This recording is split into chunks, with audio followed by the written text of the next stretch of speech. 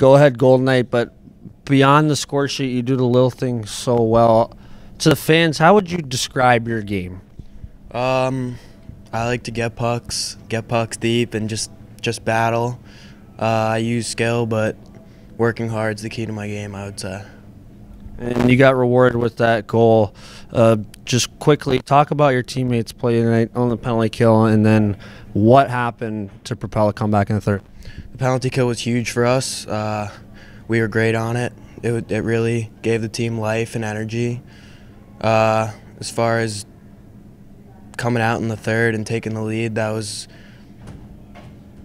great. Great job by the boys getting going in between periods and getting fired up. I think that was that was a really big thing for us. Going forward, a comeback like this, does this give you kind of confidence going into the rest of the year, knowing that you can dig yourselves out of a hole like this? I think for sure, knowing that we could be down in the third and just keep going and the drive that this team has is it's really great to see and we have a lot of confidence moving forward.